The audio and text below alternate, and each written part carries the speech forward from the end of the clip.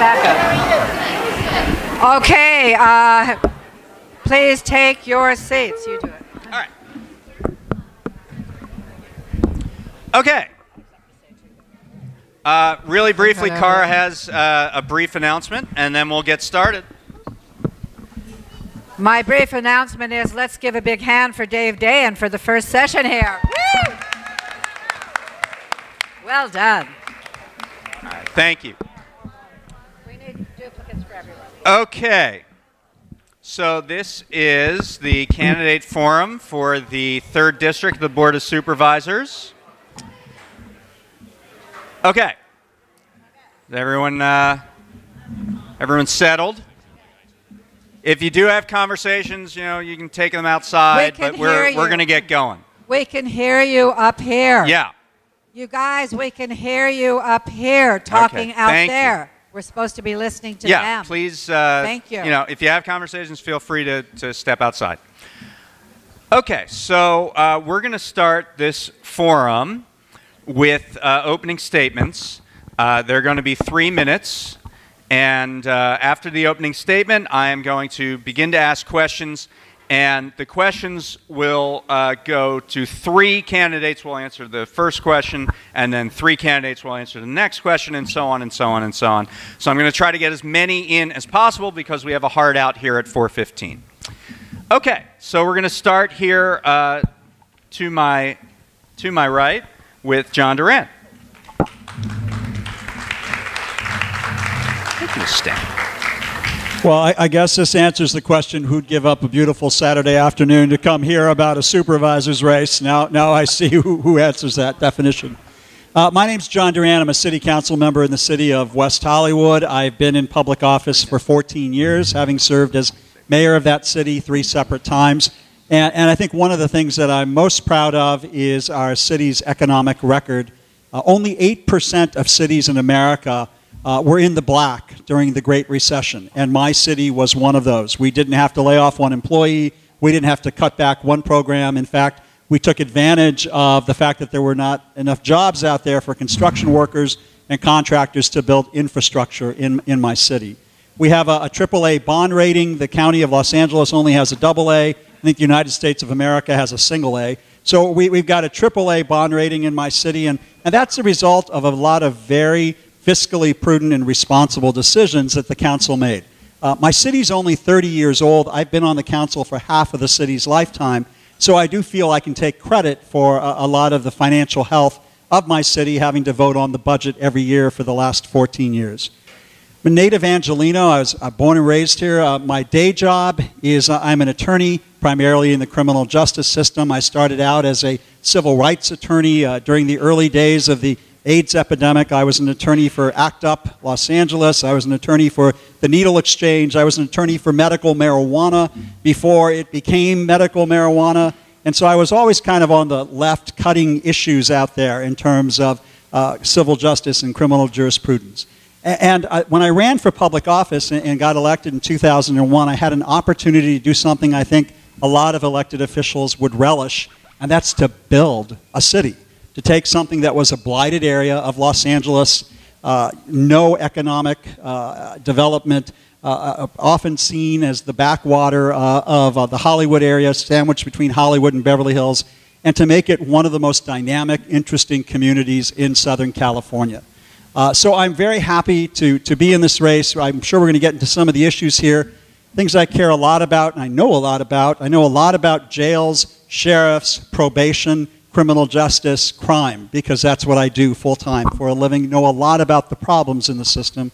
Transportation in a city of 1.9 square miles with 40,000 people. That means I have 20,000 people per mile in my city. We are as dense as parts of Manhattan. That is how dense my city is. So transportation is a huge issue for my city and will be for me on the Board of Supervisors. And finally, upgrading county systems. Most of the Los Angeles County communication systems, infrastructure were developed in the 1970s. They're antiquated, they don't serve the public well, and a major investment has to be made in all of the systems of Los Angeles County. So I look forward to the discussion and look forward to meeting you all. And uh, I'll stop now. And since you gave such a rousing applause to Betsy Butler, I'll say Betsy Butler has endorsed me for what it's worth. Thank you very much. Excellent. Okay, Sheila Kuehl, ladies and gentlemen. Uh, thank you very much for being here. I really appreciate you spending so much of your Saturday listening to people talk about what they're going to do and, in many cases, what they have done. Uh, I'm Sheila Kuehl. I grew up in LA. Uh, I went to UCLA, and from the moment I, thank you, Bruins, and I taught at SC. okay, okay, no Trojans.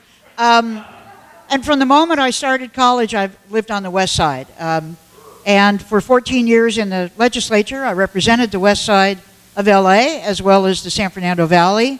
Um, it's really kind of my hood more than not. Uh, and I, to prove it, no, not to prove it, but I'm very pleased to have been endorsed by Mike Bonin and Bill Rosendahl and Cindy Miscikowski and Ruth Galanter and Herb Wesson and Holly Mitchell and anybody else represent you? I, am sure they do, but those are the people. Um, I'm very excited to be running for county supervisor because uh, as the chair of the Health and Human Services Committee in Sacramento in the Senate, uh, as the chair of the Natural Resources and Water Committee, as Speaker Pro Tem of the Assembly, uh, I spent a lot of time learning about and getting a very deep background in the very things that the county has dominion over. Counties very different from cities. Uh, many of my ballot mates, which is what Eddie Tabash called us when he first ran against me in 94, and I like that. Many of my ballot mates have been on city councils, and it's very good work and very important work. Um, but it really doesn't have the same kind of experience as working on issues of healthcare, mental health, public health, transportation, environmental protection, and all of the things that the county does. Essentially, a county is the, they don't like to hear me say it this way, but it's actually the lowest level of state government. Whatever the state makes a budget about and gives you orders about, the county carries it out. Think about Medi-Cal. Think about health care for poor people. Think about foster kids. Think about juvenile justice. Um, and the same thing for much of the federal money and federal rules. So the county is much more related to what the state and the federal government do, and that's why I'm running. I want to use the knowledge and understanding that I gained in all those years. When you're termed out, you're not quite ready to go. It's not about being a politician, it's actually about doing public policy. So I would very much appreciate, obviously, your vote today, and even more appreciate your vote on June 3rd. Thank you very much. All right. We're going to go now to Eric Preven. Hello. Greetings. My name is Eric Preven, and I am a resident of Studio City, California. Uh, and about three years ago, I attended a board meeting in connection with uh, an issue that my mother had with uh, the Animal Control Agency. And I, I, went down to the Majestic Hall and uh, weighed in um, during public comment briefly. And shortly thereafter, I started to listen to what was at stake here at the County Board of Supervisors on a weekly basis. And uh, I grew concerned, and I went back to the next meeting, and to the next meeting, and to the next meeting, and I started to discover that the public participation piece was broken in our Los Angeles County government. That in fact, after the big presentation at the beginning of the meeting, most participants simply exit very, very quickly. And um, my friends and my family thought, you know, why is he going so deep into the county's business? Um, and yet, what I came up with was some interesting stories, and one in particular that moved me, and I'd like to tell you a little bit about that one story as an example of why I think I'm a different and very compelling candidate for this job. It had to do in January 2012 with an item that crossed the board's desk about our county golf courses. There are 19 county golf courses, but, but a handful of those golf courses, uh, actually six, were being transferred um, for given 20-year extensions, actually, not transferred, um, to a group called American Golf. This is a group based in Santa Monica. Um, this, this process was taking place, I discovered, by looking at it without competitive bidding. And I thought, that's odd. How could we be giving away these revenue generators for the county without a fair and competitive process? So I looked into it, and I did some Public Record Act requests, which was fairly new to me at the time. And I discovered, believe it or not, that uh, a lobbyist by the name of Matt Knabe, who is the son of a sitting supervisor, Don Knabe, uh, was taking money from American Golf Corporation during these preceding years and was doing so in a way that was robust, to put it lightly. He took over a half a million dollars to get this deal done. And so I was, you know, outraged, and I took it to anybody who would listen, including the media. I, I pushed to the Times and to a group called SoCal Connected at KCET, and I was uh, successful at getting a story going about this that, that talked about the cronyism and the influence in Los Angeles County government, in particular with that group. And so if I'm elected to this office, I want you to understand that I will be the board's, um, in a way, uh, the worst nightmare because I will not tolerate, I will not tolerate um, the kinds of backdoor influence peddling that is going on. And it's clear to many of you who I've seen down at uh, the board meetings on your specific issues that I will raise my voice where I see the public's interest is in um, jeopardy or uh, being sidelined, as it often is in the face of more robust special interests. And, uh, you know, I don't think that the county is the state. I think that the county is one of the greatest uh, nets we have for the underprivileged, and we're going to, yeah, I'll wrap it up. So I look forward to a spirited debate, and thank you for your attention, inviting me. Thank you. Okay, Bobby Shriver. Hi, everybody. Can you hear me all right? Happy Saturday. Uh, I too was, uh, as Sheila mentioned, in local government here. I know some of you from that. When I walked in, a young lady down here said to me, Yeah, but what did you get done there? You can't really get anything done. So I thought instead of giving me giving you my usual thing, I'll tell her what we did in Santa Monica so that you can have confidence that this agency, which is a local government agency, can get something done for you if I'm elected. First thing I found out when I got here was that the water under the Santa Monica Pier was the most polluted water in the state of California. Kind of a wild statement. Come on. He's looking at me like, I don't know about that. Young man, you know, I'm telling you the truth. Uh, working with Heal the Bay and a bunch of activists there, we put a measure on the ballot, which was a tax. We passed it, 66.8%.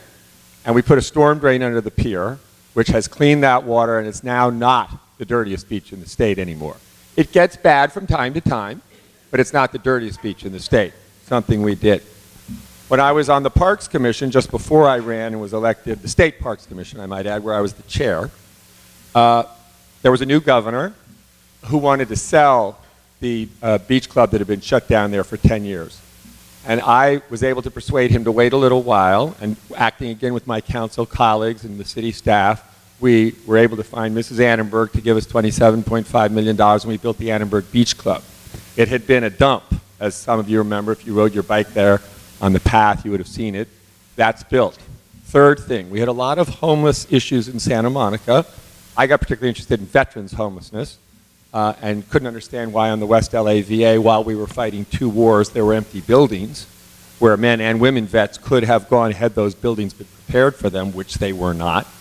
I got very interested in that, but I also knew there were a lot of issues right in Santa Monica, and I knew that the, the providers, a lot of the people who worked with the homeless, didn't trust the government, uh, didn't want to work with anybody from the city. So one day, someone gave me the idea of you should hire Ed Edelman who had been the supervisor, had this office for this district prior to Zev, and had worked a lot in mental illness. He was a man of tremendous character and judgment and uh, elegance. And the council agreed with my idea to do that. We hired Ed, and Ed was able to persuade many of these providers that's not me, right? No. Uh, that they should do, for example, feeding of homeless people indoors, which is important because when they're indoors and they get the sandwich, you can develop a relationship with them if you're a social worker. You can't do that in the park if they run off. So that's another thing that happened. Uh, I want you to vote for me in 15 seconds, and I look forward to our conversation. Thank you.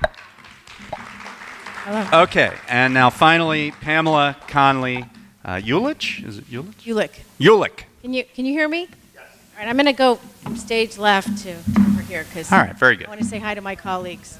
Um, good afternoon. First, thank you for being here because you could be anywhere today. So I want to thank you because there's a few of us left. And uh, introduce myself. My name's Pamela Conley Ulich. I am a, um, my history is I was born in Kansas. I moved to California when I was 18. I went to UCSD um, back when it was affordable, and I'm grateful for that. Uh, I was raised in the days when a working class, middle class family could make ends meet. And unfortunately, we look out here today and we see a lot of people that aren't able to make ends meet. So I'm hoping if I'm elected, I can help with my background from being there and doing that. I actually served, I was um, litigation supervisor for the Screen Actors Guild Union and for the Directors Guild. My father was a union organizer as well. And after I had my two beautiful children after 9 11, I kind of reevaluated my life a little and I asked to go part time. And I was denied and told it would be a dangerous precedent if I went part time, everyone would want to go. So I had to make a choice between my children and my career, and I chose my children. My son, who's back there today, is, and my daughter, who's 14. They are my guiding posts of my life. And I am here today by accident. I started um, being a stay at home mom in Malibu. I actually taught labor law at Pepperdine Law School as well. Started to take my kids to the library. And one of the things I noticed is our library didn't have a lot of good facilities for kids. We didn't even have chairs for kids. And then one of my friends who was the librarian at Malibu Library, the children's librarian, moved to Agoura. And when I went to Agoura Library, I noticed they had a gazebo, they had children's sections, they even had children's computers. And I thought, why isn't Malibu doing this? So I came back home, started to get involved, and asked a politician, like, can you make this an issue? Oh, there's an election coming up, and I took him out and I said, look, I'm interested in working on this issue in the library, and there's an election what do you think? Should I bring this up? And he said, Oh, honey, you should stay at home, bake cookies, because you will lose the election. Of course, the next day I took out papers, and the rest is history. I won the first race in 2004, barely beating our first mayor, Walt Keller, by 60 votes. Uh, subsequent to that, I won the 2008 election. I was the highest vote getter.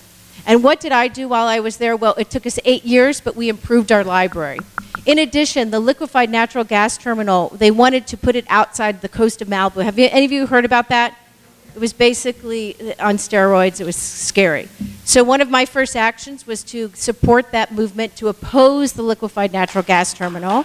Thank you. And we, we didn't do it alone. It wasn't just Malibu. We had to work with Oxnard and all the people up and down the coast, and we were able to defeat it. And it is history now, but it was almost approved. The governor was in favor of it. So we were very lucky. We also opposed the next BHP. Um, Woodside Natural Gas tried to put one, so I helped work on that while I was the mayor. Marcia Hanscom's out there. We all know the lagoon. Um, originally, the city council supported okay. it. We ended up um, voting against it, but that was too late, and so am I. So thank you for being here. thank you. All right, you can hold on to that. Okay, so how this is going to work is I'm going to ask a question, and three of you are going to answer that question, and then we're going to move on to the next one. I've done the math. If I do this right, you'll all get the same amount of questions. Okay.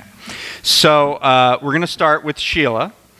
And the first question is uh, Despite the success of the Affordable Care Act, there, there remain, uh, according to estimates, there will remain 1 million uninsured residents in Los Angeles County due to various restrictions in the federal law, particularly around undocumented individuals. Most of them will be unable to get covered through the exchanges. Uh, the county is committed to finding a solution to cover these people, but they haven't fully determined what form that is going to take. So, what is your plan for covering the uninsured in Los Angeles County? Well, I think. Uh, a minute and a half, by the way. A minute and a half. Yes. How will you save the world? You have a minute and minute 20 and seconds. 90 now. seconds. Uh, well, as the author of the uh, single payer bill that got to the governor's desk twice, um, this is an area that I've done a lot of thinking about, and I think the county is committed to covering all of its residents, including those who do not have access to Obamacare insurance. Uh, one of the ways it already has committed money to doing this in the past, they want to move everybody into managed care. It's not an area that I have been real supportive of, but it is an area that has shown in many ways some efficiencies and some of the efficiencies that we built into the single payer bill. So uh, I think the county can cover them. I think that in, with a combination of what the managed care group that Mitchell Katz was talking about and you read about in the Times yesterday, uh, two days ago, and LA Care, which is a public-private partnership, uh, which has the ability, it's part of the exchange, to include people because some of the undocumented can actually afford to contribute to their own care. Sure. They simply aren't able to report their income. But if they self report, they can pay for their own care, and this is what we wanted to do with uh, the state uh, plan as well. So I'm committed to having every single person in Los Angeles County have access to affordable and quality health care, and I think we can do it. Eric, uh, we're going to go to you next. Yeah, uh, Tuesday at the board meeting, Mitch Katz gave a very exciting, um, but incomplete, obviously, report on the Affordable Care Act and how it's being rolled out right now. But as Sheila mentioned, uh, the thing that is most critical is we are trying to devise a system whereby patients do not go to the emergency room unless there is an absolute need to go to the emergency room. And the way he's devised, which I think people are lining up behind, is something called creating a medical home. Now, the medical home, which we should get a nice theme song and roll out in the form of a campaign, is basically common sense where if somebody has, for example, a fever, we do not want that person in clogging up an emergency room. We want them finding the appropriate clinic or community partner that can provide their level of care that's appropriate. Um, by finding these efficiencies, uh, we will go a long way in the direction of, of supporting that million uh, individuals who we're expecting to, to be exposed here. And I think that um, you know, the Board of Supervisors is uniquely positioned to include the public in this process. And historically, we have unfortunately rolled back, last year, we've rolled back the reports about how the statistics are in our hospitals uh, because they're not necessarily something we want to advertise while we prepare to market, something we do want to do, how good county care can be. So I think that that tension um, will, be, will benefit from transparency, and I think that the board uh, is going to take a leading, I think we should reinstate the monthly reports uh, to the board on how it's going in our hospital system. So thank you. Thank you, Eric. Bobby? We'll go to you. Yeah, we're just going to go down to you. Three, yeah. Um, I think some very good things have been said here. I would say one thing about Dr. Katz, who's been mentioned by both people. This is one of the most important things your supervisor can do which is to hire very smart people. It's a very important quality uh, in the supervisor, and I think an underappreciated one. If you've had experience in picking very smart people, it's a huge advantage. I say that not only because it's true, but because I've had some of that kind of experience in running various uh, public health nonprofits throughout the world and uh, local nonprofits. It's very, very important. Dr. Katz, the man that's been mentioned, is going to change up healthcare in Los Angeles County in a very dramatic way. He's done it in San Francisco. He's an extremely smart fellow. He is a very highly motivated person. He really cares about uh, uninsured people and, and giving access to the best care to people. So he's an immense asset of our entire community. Second thought, the most uh, smartest, in my opinion anyway, place to put clinics is at schools. If you can build a small clinic in a school that gives preventive care, this is happening in the private sector in a very big way. Large companies are building small healthcare clinics on their property, which decreases their insurance costs, makes their uh, employees much healthier. We should be doing that exact same thing in the public system. Schools are a great place for that, particularly middle school. It gets the kids in the habit, it gets the parents in the habit of bringing the kids to the doctor. And if the parents are also treatable there, it's a tremendous win. Thank you. Okay, so new question for, for you, Pamela. Uh, do you support an extension of Measure R on the ballot in 2016? And with or without that extra revenue, what is your vision for public transit in the region, especially here on the west side? I think Measure R, as we all know, is for transportation, and it infused billions of dollars into Los Angeles economy, and that's why we're getting subways. Hopefully, we'll get the one finished here to Santa Monica soon.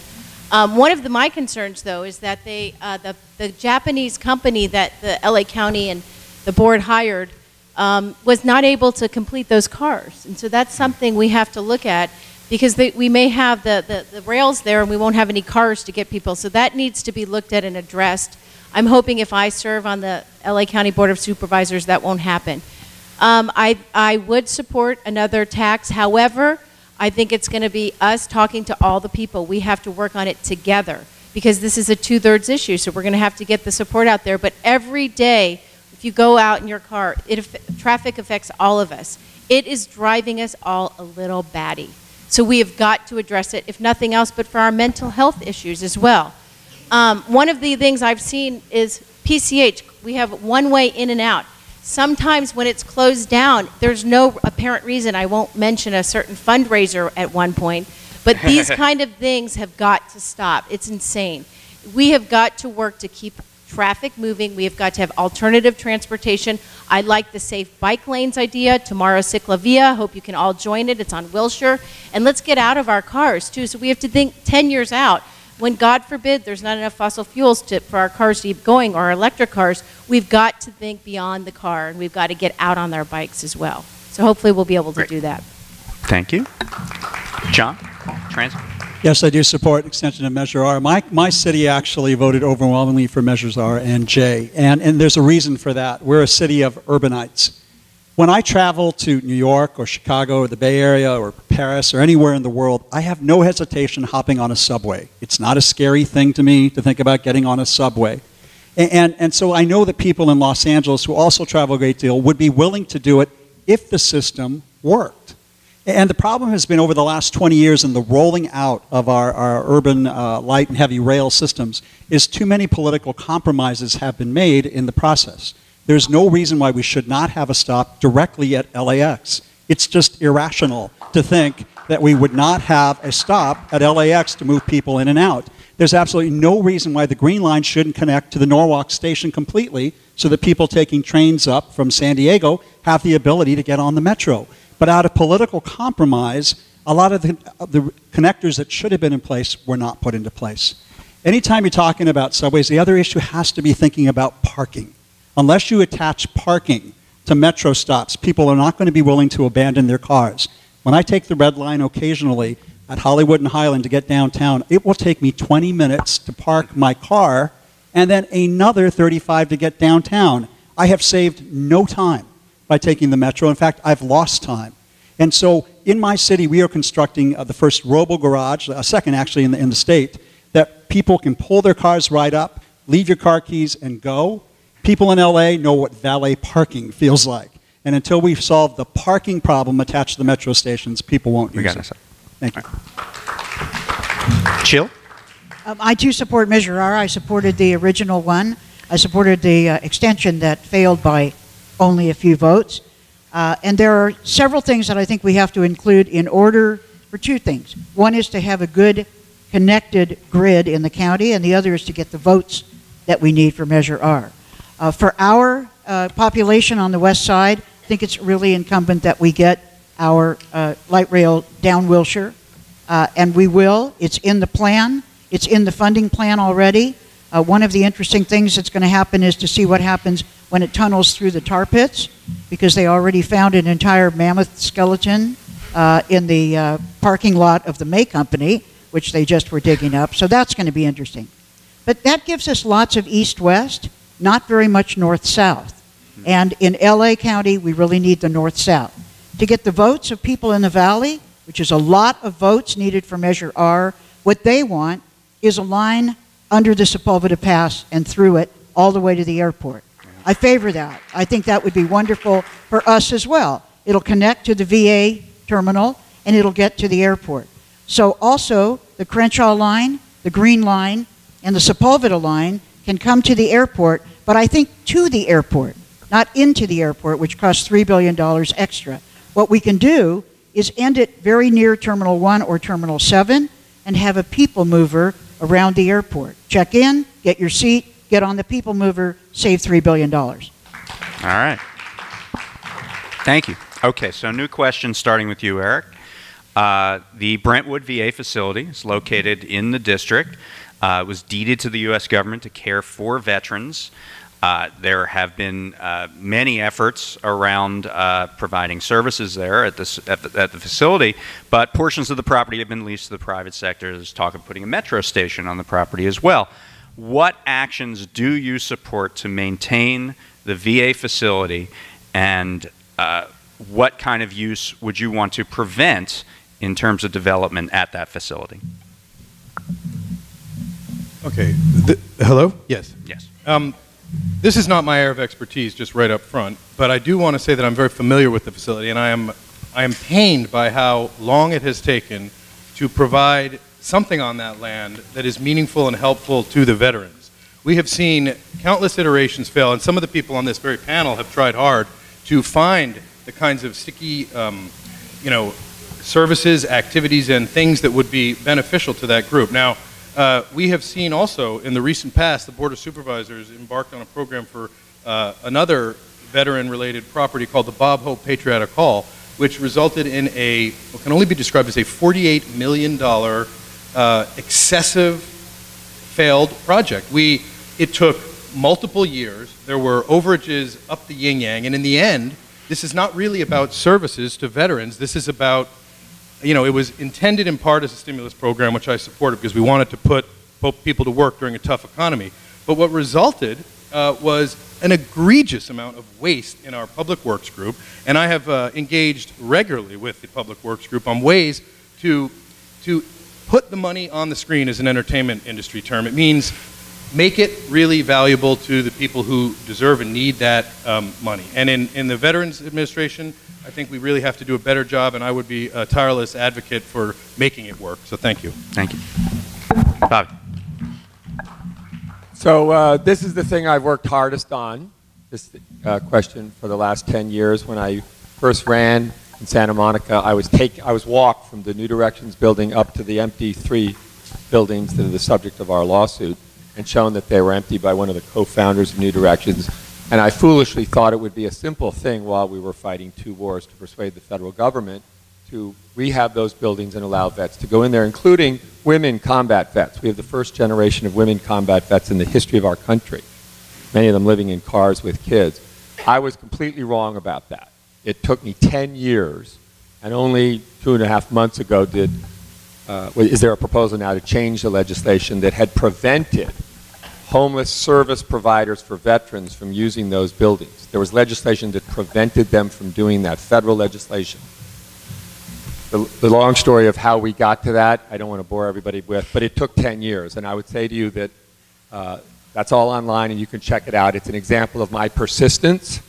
I saw that there was a problem there, and even though I tried over and over again in negotiating and letter writing and visiting people in Washington who rebuffed me, I stayed with it. After a while, I got so frustrated, I did organize a lawsuit. We got the right lawyers together to work on the lawsuit, and we won that part of the lawsuit that caused the legislation to change. So I'm very familiar with this. It's a deep outrage that the, everybody in the community that these vets are still living in dumpsters and under the freeways, but we're going to fix it.